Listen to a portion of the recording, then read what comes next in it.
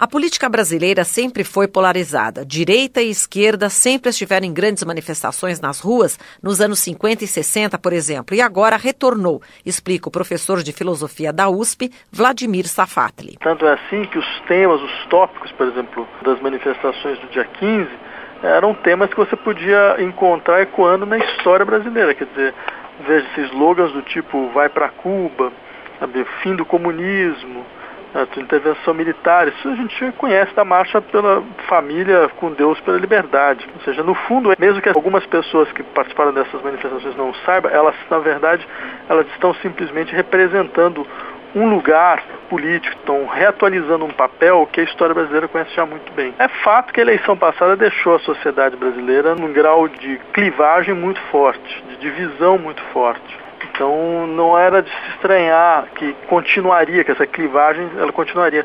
Foi muita ingenuidade de alguns achar que depois da eleição as coisas mais ou menos voltariam ao normal. Vladimir Safatli não é daqueles que vê nessas manifestações a divisão de luta de classes. A última eleição que terminou no ano passado foi basicamente 52% a 48%. Não há 48% de pessoas que foram votar no Aécio, não há 48% de pessoas nesse país que sejam de classe média dizer, e nem há 40, 48% que representem a elite brasileira.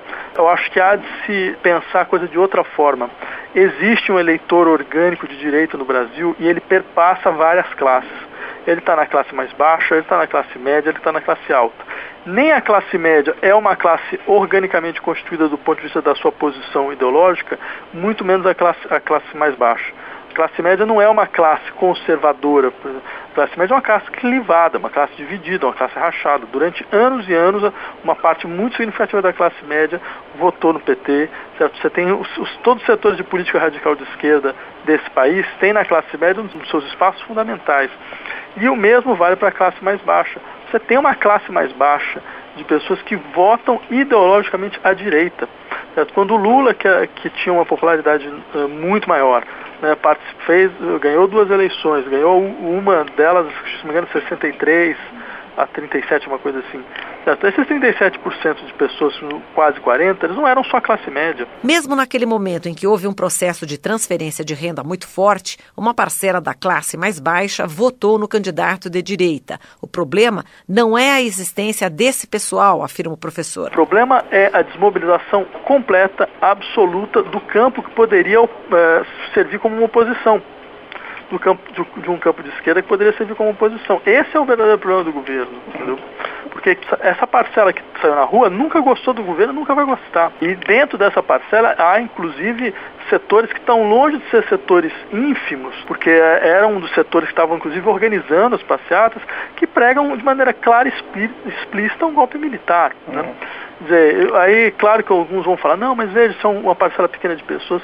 É, a questão, isso no fundo não é verdade, porque você viu que tinha muita gente falando isso, e mesmo se fosse, a questão não é essa, a questão é que você está naturalizando um discurso que é um discurso absolutamente criminoso, claramente a exposição de um crime. Ou seja, quem está pedindo golpe militar pede tortura, pede terrorismo de Estado, pede assassinato, pede censura. Quem quer as causas quer as consequências. Não existe isso. Então, ou seja, você naturalizou essa coisa num nível absolutamente estrondoso. Essas pessoas não deveriam estar na rua, deveriam estar na cadeia respondendo processo. Acho que não, não tem muita discussão com gente que sai para a rua para fazer esse, esse tipo de colocação num país como o Brasil. Não tem discussão alguma tem lei. Eles deviam estar sendo processados e vários deviam estar na cadeia por fazer apologia a crime. Uma consideração sobre o pedido de impeachment. Quem pede impeachment, eu, no meu ponto de vista, pede muito pouco. Impeachment hoje ia significar o quê?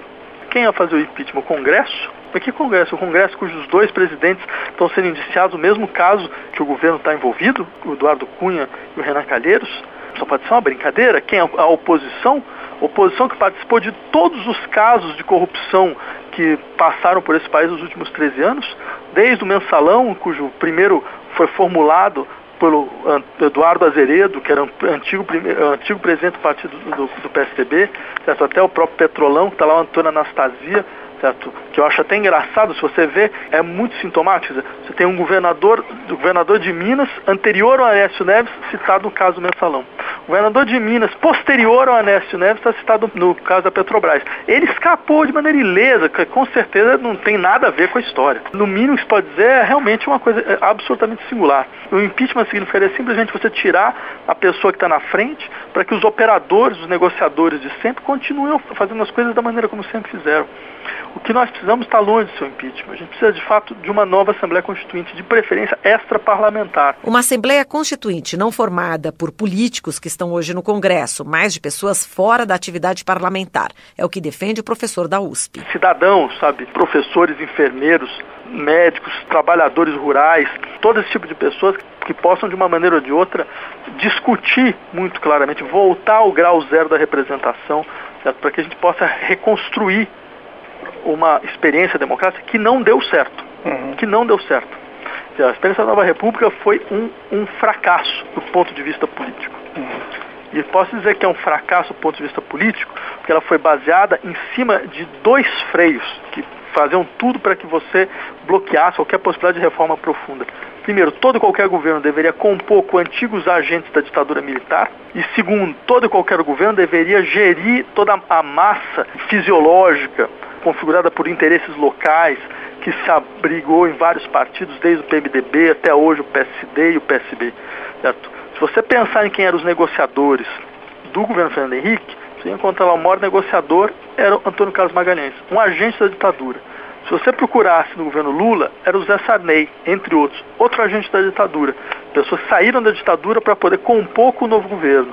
Certo? Tudo isso quer dizer, a, além do papel do PMDB como papel chave da governabilidade, demonstra muito claramente que você tinha criado um sistema onde era simplesmente impossível governar um processo de transformação. A reforma política hoje é sinônimo de brincadeira, é uma piada. Fazer reforma política com quem? Dessa maneira, Vladimir Safatli aborda a questão da reforma política. Feita por esse Congresso, são os maiores interessados em que nada modifique-se de maneira efetiva, que é uma partidocracia eles estão simplesmente tentando achar uma maneira deles, como partidos hoje, sem, com muito baixa representatividade, continuarem o monopólio da representação política.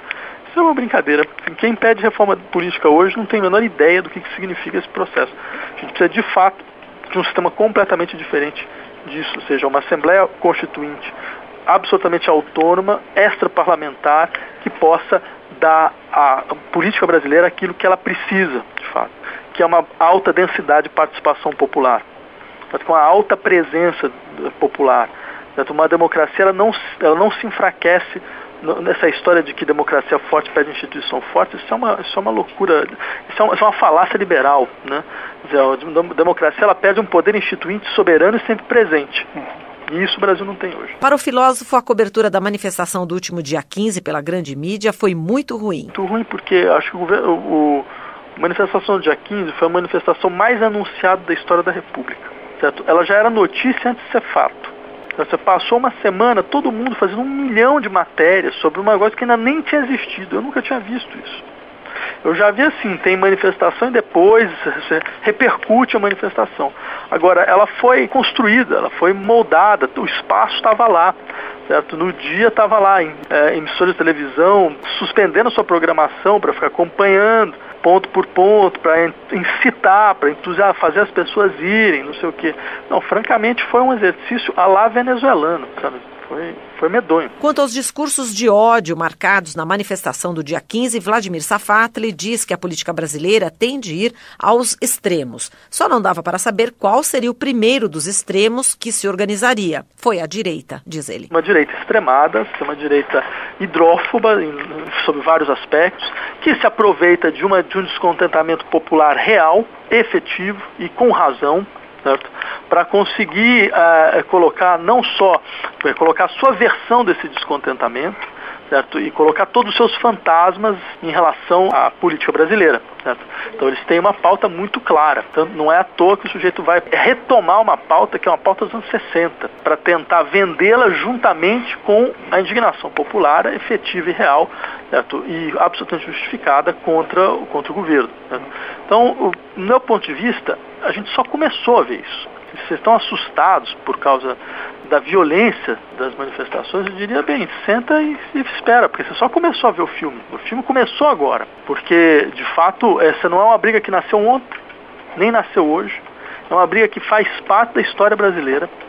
Certo? O Brasil sempre foi um país dividido entre direita e esquerda. Quem tenta vender a ideia de que não existe mais esquerda não conhece nada sobre o Brasil não conhece nada sobre a história brasileira. Essas clivagens remontam a muito longe, remontam, sabe, remontam a maneira, a, a, todas as lutas sociais e como essas lutas sociais dividiram o país. Uhum.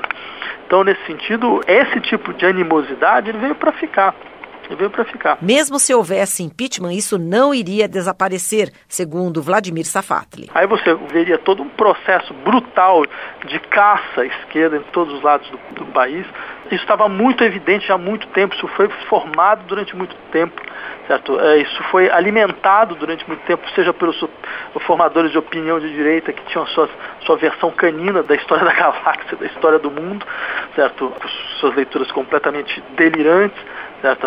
Seja, seja a maneira com que você percebe uma série de preconceitos, os mais rasteiros sendo colocados bem junto com uma série de descontentamentos que tem, como eu falei, tem sua legitimidade, mas, dizer, é, mas esse é o jogo político, você vendeu os teus preconceitos lá onde existe de fato alguma coisa, certo? Então você joga o teu preconceito junto também, certo? Então,